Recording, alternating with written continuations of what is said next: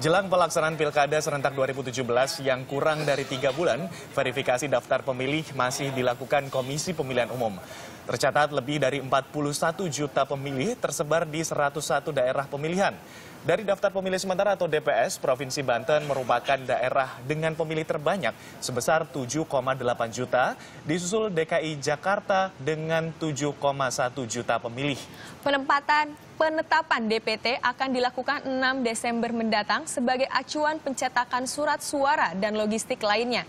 Pemilih yang tidak masuk dalam DPT bisa tetap memilih asal memiliki KTP elektronik.